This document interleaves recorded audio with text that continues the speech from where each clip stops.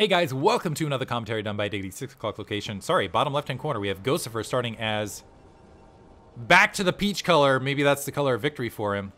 Bombon at the 3 o'clock location as the hot pink Protoss. This is game 5 between these two, so whoever wins this advances to the round of 4. Could be an intense one. It's been nothing but honestly kind of more aggressive builds throughout the openers here.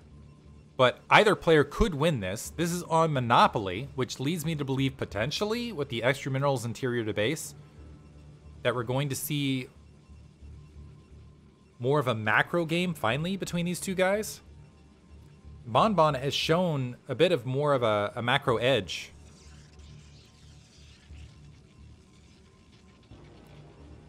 in a lot of these engagements, partly because of build order choice. Oftentimes when you get those ults in your opponent's space, just because of the way the build order pl plays out, you end up ahead in probes in the mid game.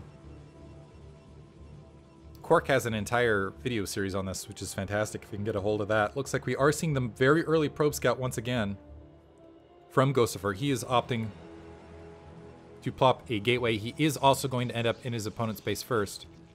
I'm actually curious what his is it because he's going up against Bombon bon in particular, and he knows Bombon bon is a player that can pull off more creative things? I'm, I'm curious the logic behind the much earlier scouts from him. Looks like we're seeing a gateway and an assimilator grab from Bombon. Bon. He does have a ramp to work with, although it's kind of one of the, it's almost showboating on map makers these days.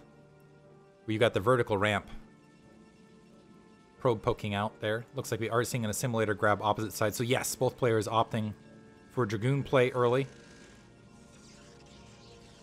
Cybernetics Core morphing in. And Cybernetics Core on the opposite end as well. So slight economic lead, as you can see, for Bombon because of that earlier Probe Scout once again, but otherwise, things stabilizing between these two players. Later Probe Scout moving out for Bombon. One disadvantage for Bombon is the way this lines up, I believe that Gosufer might be able to swat that Probe Scout before it is able to make it into his base. And this particular pylon has that nice aura, that blue aura around it for some reason. I don't know if I'm just noticing it this time or if it's just this particular pylon.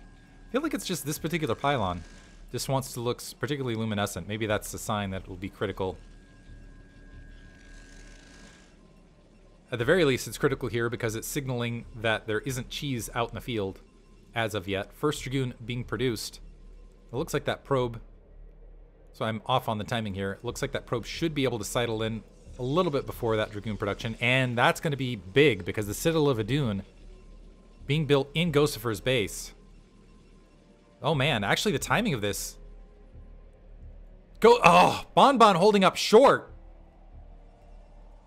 And the Dragoon is going to be able to plug the gap now. I think that probe might have been able to sneak in and get the scouting information. Gosufer pulling back. And I'm wondering if Bombon wants to try to pull the four gate now with proxy upon holding shorts because he knows his opponent, or maybe this is just he's not used to Monopoly. I'm looking for proxy tech potentially out of that probe. But as things stand, he could end up in trouble because now Citadel Adun is there, Templar Archives is coming online, and he does not have vision on anything. But opposite edge, Bombon going for the Templar Archives as well. So it is going to be DT versus DT. In game five's second gateway plopping down, that's going to be twice the Dark Templar potentially for Gosufer, which could give him the lead. So now, who's going to have the better ability to block their ramp? Probe Scout getting blocked behind that mineral line and wiped out. Forge is coming online for Gosufer. So having that Forge and the option of cannons actually there for both players. First Dark Templar produced. Cannon might plop down at the natural for Bombon. So there's the cannon warping in.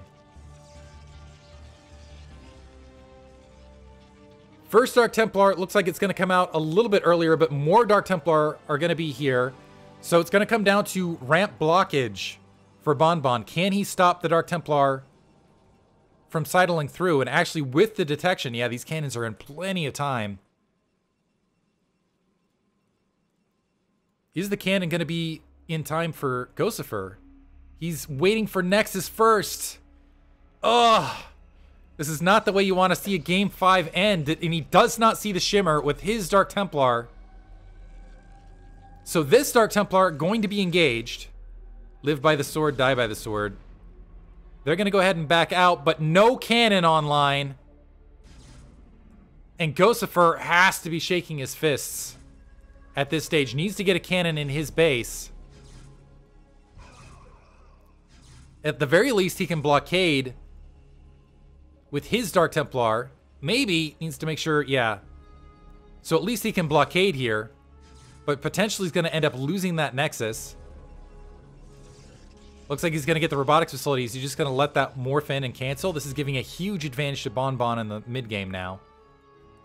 Bombon actually moving out with several troops. Needs to be careful doing so. There are four Dark Templar, and I'm wondering if we're going to see a shuttle follow-up now. Because that is Gosufer's one ticket to stick in this match, is to get a shuttle inside that base, over the cannons, to hold it. Bombon applying pressure, exposing his Dragoons to Dark Templar. Wants to make sure that Nexus doesn't complete. Cancellation on the Nexus. Bombon's confirmed it. He's going to back up. His Nexus is there. High Templar now out on the front. And this Dark Templar also going to be able to take that pylon. There is a cannon at the main. But it's only one cannon. Two additional gateways and an observatory. Are we seeing a shuttle, though? No shuttle, it looks like. So big lead mid-game for Bombon. Taking out a Nexus. Taking out a Pylon. He's got, granted, three cannons on his front, but that's nice latent defense. To go ahead and counter it. Looks like Bombon in a solid position to advance to the next stage. Still no shuttle. That would have been the one thing that Gosufer might have been able to counter with. Bombon single Dark Templar, forcing these Dark Templar to hold the ramp, but boxing out that natural expansion. And in the meantime, Bombon with a 10 probe lead. Cannons everywhere, just in case. Oh, that's rough. So Gosufer, even in supply for the moment, at least has Observer out in the field. But also keep in mind this is Monopoly, which means there's additional resources to work with. So Dark Templar going to get taken out by Dark Templar seems apropos. But this is Gosufer just now taking his expansion. Never mind, he's going to ignore that. He's just going to work with the four gateways and try to win it that way. He's going to have trouble, though, because Dark Templar, three cannons, or a slew of Templar waiting. I assume Psystorm's already been upgraded. Two additional gateways plopping down for Bombon, so there's going to be a very thin window to try to make this happen.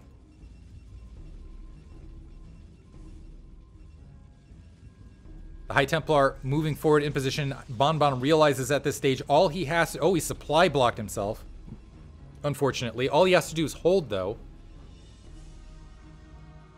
Probe wandering out just to confirm. Like, are you still out there? Yes. That is the case. Gosufer, with Zealot leg speed, wants to try to punch through front lines. If he can preserve the Dark Templar from there, maybe. Wipe out all the cannons, but their Psystorm does not care about detection. First Psystorm dropped. Second Psystorm blanketing absolutely everything, softening up the troops. The Dark Templar does sneak through the lines. But there are plenty of cannons there to go ahead and greet it. And Gosufer's attack force and Observer wiped out, leaving a single Dark Templar to work on pylons uh, at that right edge. As the first Observer's coming online, this is going to be five gateways. An Archon is here as well. And not even... Okay, gets one pylon for all of that effort. Now, Gosufer, yeah, gonna call GG right there. Bombon with the hold. A complete swing around sweep to advance to the round of four. Well played. Hope you guys enjoyed it. Thanks for listening.